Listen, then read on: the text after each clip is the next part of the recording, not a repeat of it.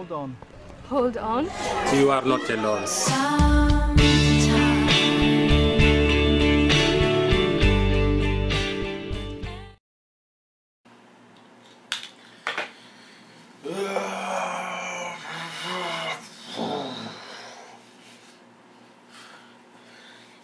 Porra, foi essa? Tá bonita, né? Ah, sabe o que que é isso aqui? Isso aqui é... Wie geht's dir? Uh, ich bin Hugo. Uh, aus dem Deadface. Und hier wir kommen... Boa. E aí, pessoal? Tranquilo? Deixa eu arrumar a câmera aqui. Beleza. É... Vamos ter uma conversa hoje.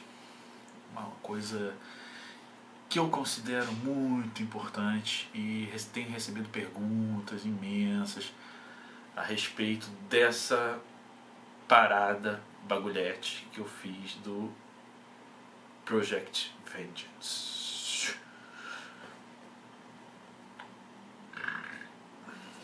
Cortou? Cortou. O Hugo que vocês conhecem, o Axel Tijuca, tem passado por processos intelectuais e reveladores e tem mudado muito de direção nos últimos anos. Muitos sabem que eu sou coach e para manter um trabalho de coach, acredito que não seja só treinamento físico, mas um treinamento, um assessoramento uh, no que envolve uh, o globo psicológico, mental e espiritual.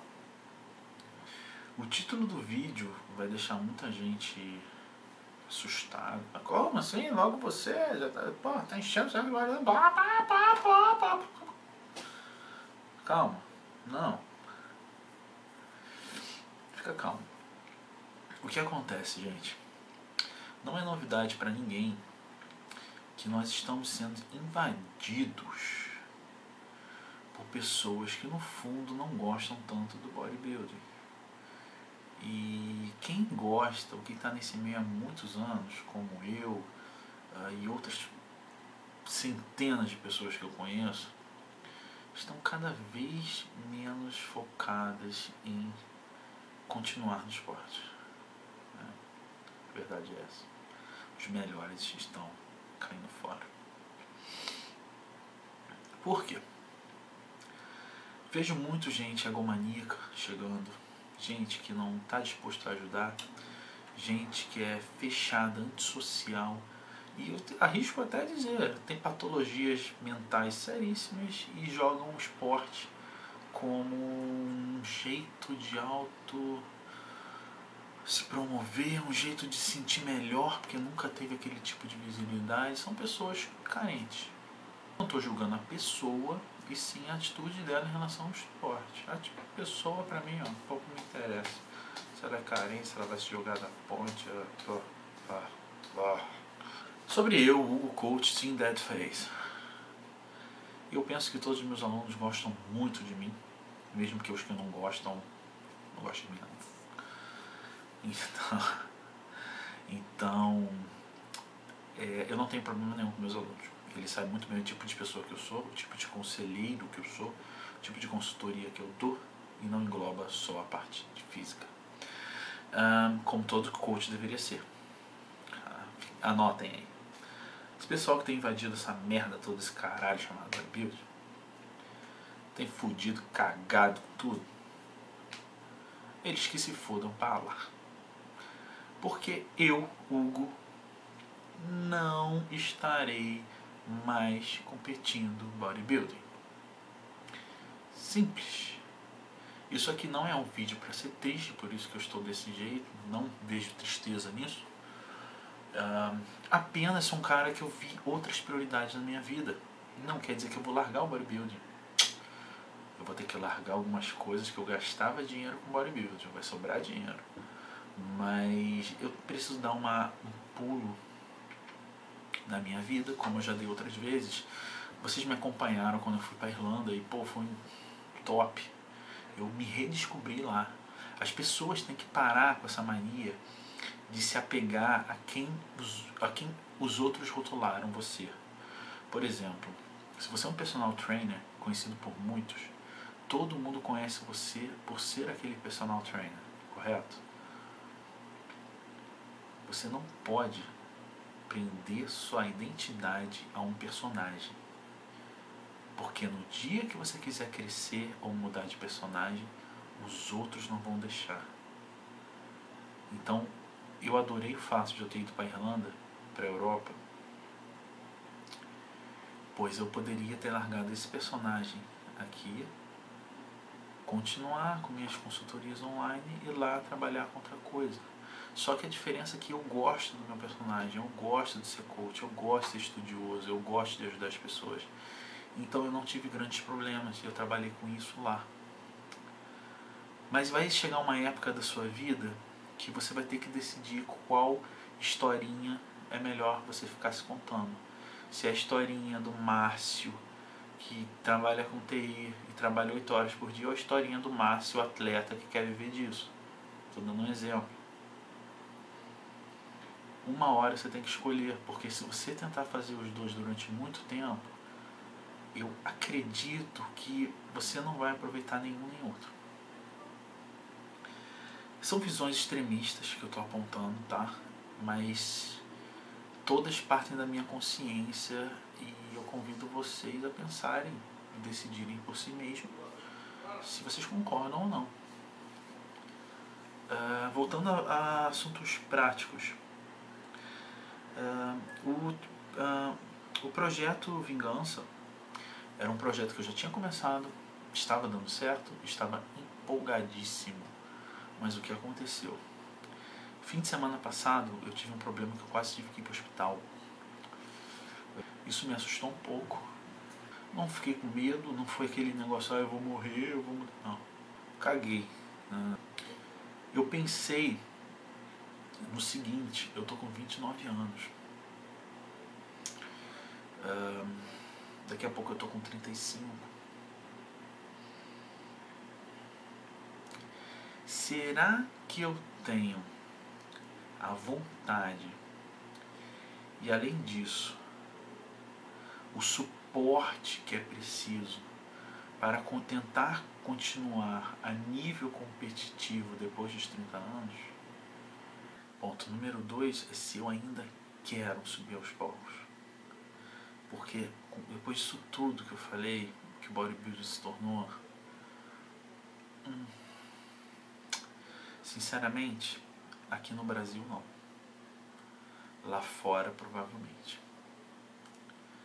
E eu, eu venho aqui comunicar que a partir de hoje o meu foco será só ser treinador ajudar meus alunos, ajudar quem realmente quer chegar lá. Eu tenho conhecimento, experiência e rede de contatos para isso. Quem me conhece, não acredito que ninguém duvide do meu trabalho, mesmo que eu já provei com vários campeões aí. Um detalhe, gente, provavelmente final do ano eu estou indo morar fora de novo. Dessa vez, provavelmente Estados Unidos. Lá eu vou ter muito mais oportunidade de aprender mais ainda sobre o que eu trabalho. Então, vai vir muita coisa legal. Eu vou mudar um pouco o jeito. Vocês estão vendo que eu estou gravando cada dia em um lugar diferente. Eu estou tentando mudar o jeito que eu gravo. Um, o ângulo que eu gravo, como eu gravo. Vou começar a ver se eu começo a gravar lá fora.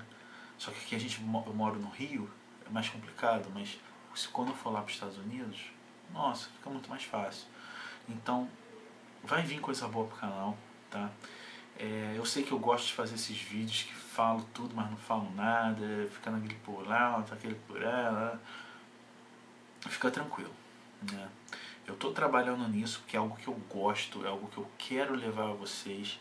Eu acho que não tem ninguém no Brasil queira levar as informações do tipo que eu quero levar para vocês informações sobre bioenergética, postura corporal, informações com isso tudo relacionado a fitness, a bodybuilding, uh, em relação de como conseguir patrocínio, em relação de como está o patrocínio no meio, relação de gastos, de, de protocolos, gastos de preparação, sabe?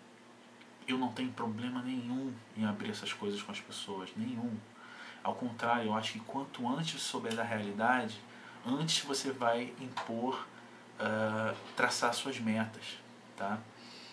Então, quando, quanto antes você souber a realidade, vai, mais vai traçar suas metas, vai saber até onde você vai, e nisso vai prejudicar muito menos a sua vida. Infelizmente, existem pessoas que só descobrem isso quando é tarde demais. Ah, ano passado, um grande amigo nosso morreu, faleceu. Dois grandes amigos nossos faleceram. Tem exemplos aí também da, da atleta aqui do Rio que foram, foi julgado, jogaram ela, não importa isso. O que, que, eu, que eu falo é o seguinte, esse esporte não é inofensivo. Não é inofensivo.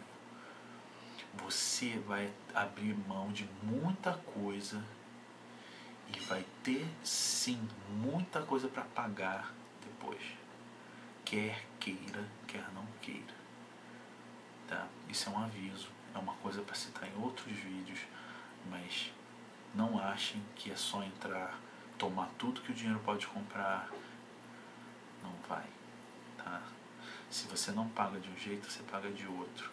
Se, ó, eu não vou falar de profissionais que, morreram ou que ficaram enfermos. Eu vou falar de profissionais que têm passagem na polícia por crimes violentos. Tem gente que sobe o Mister Olímpia que matou o filho. Eu não vou falar o nome do profissional aqui. Vocês não sabem da missa no terço. Antes de procurar o sonho, antes de procurar o sonho, aprendam o que acontece no lado podre do bodybuilding, porque tem muita coisa. Então assim, esse vídeo já tá grandão, já falei sobre tudo um pouco ou sobre nada muito. Mas é mais ou menos isso. Os próximos vídeos que eu for fazer vão ser uma, uma desconstrução. É foda. Uma desconstrução de tudo que você aprendeu sobre bodybuilding. Sabe por quê? Eu vou falar. Eu vou falar tudo que acontece. Eu vou dar minha opinião e eu não tô nem aí se alguém vai ficar chateado. Tá? Eu não vou falar, vou falar de, de aplicação, essas porra aí você acha na internet. Não é isso que eu quero não. Eu vou falar de política, eu vou falar do que rola por trás. Enfim, fiquem calmos. Eu amo meu trabalho, adoro botar os outros no palco, adoro fazer os outros realizarem o sonho deles. É a melhor sensação que eu tenho. Eu poderia estar ganhando dinheiro de outras formas, eu não estou. É... Sou muito grato por fazer o trabalho do Team Dead Face que eu estou fazendo. Então, é isso, galera. Fica na paz. É, não se estressem uns com os outros na internet. Pare com esse negócio de briga de ego. E a gente se vê aí. É isso. Boa sorte.